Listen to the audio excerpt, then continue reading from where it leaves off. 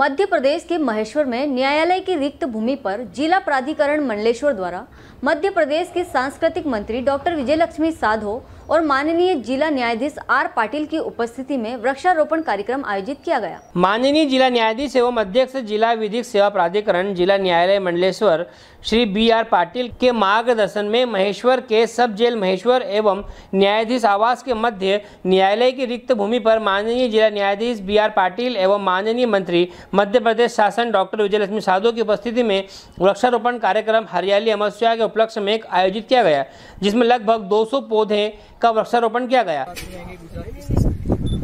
मध्य प्रदेश जो देश का स्थल है, यहाँ पर हर 40-50 किलोमीटर पर एक अलग भाषा है, एक अलग परिवेश, एक अलग संस्कृति यहाँ बुंदेलखंड का एरिया है तो बघेलखंड है। यहाँ मालवा की संस्कृति है तो विंध्याचल नीचे उतरेंगे तो निमाड़ की संस्कृति है।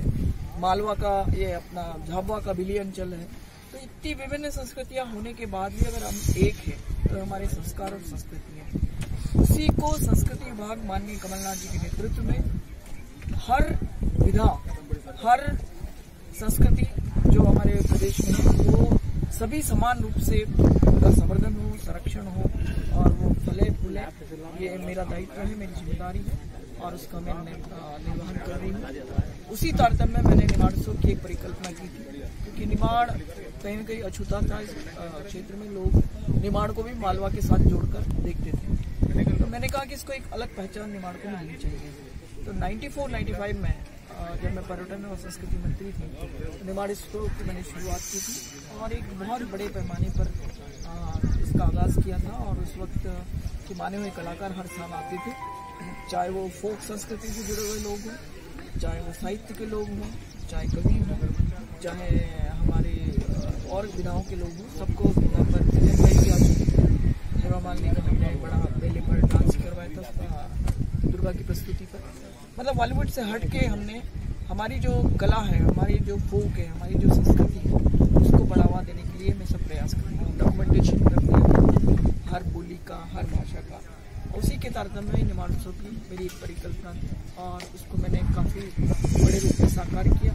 लेकिन बीच के समय में इसको एक बहुत छोटे लेवल पे आ गया था और सीमित हो गया। न केवल उत्सव, लेकिन लता मंगेशकर अवार्ड। इंदौर में हम जो देते हैं, वो भी प्रेस्टिजियस था। वहाँ पर जब हम पास देते थे तो पास की मारामारी होती थी। उसको भी और नेहरू स्टेडियम, जो बड़ा स्टेडियम है, वहाँ पर होता था। मैंने खुद ने अटेंड किया कई बार। उसको भी बहुत एक कमरे तक सीमित कर दिया। तो मेरे प्रयास है कि सारी संस्कृतियाँ फले बुढ़े और अच्छी तरह रहें, ये मेरे प्रयास है। और भारत से भी उसकी कड़ी तो मुझे शेषव काल में हमारी सरकार अभी चल रही है। अभी अब देखिए क्या क्या होता है। आप स्वयं देख लेंगे कि यहाँ कितना हम और आगे जा रहे हैं और काफ़ी अच्छी चीज़ें यहाँ पर मिलाने के हैं। हेलो फ्रेंड्स आप देख रहे हैं हमारा channel S W twenty four news हमारे सारे वीडियो सबसे पहले देखने के लिए आप हमारे चैनल को सब्सक्राइब करें और पास में लगे बेल आइकन को दबाना बिल्कुल भी ना भूलें।